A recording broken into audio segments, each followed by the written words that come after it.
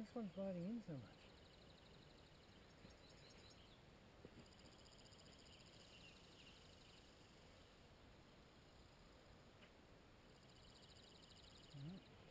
Try to get up here.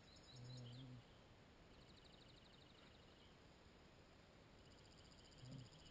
It's got to be just as hard.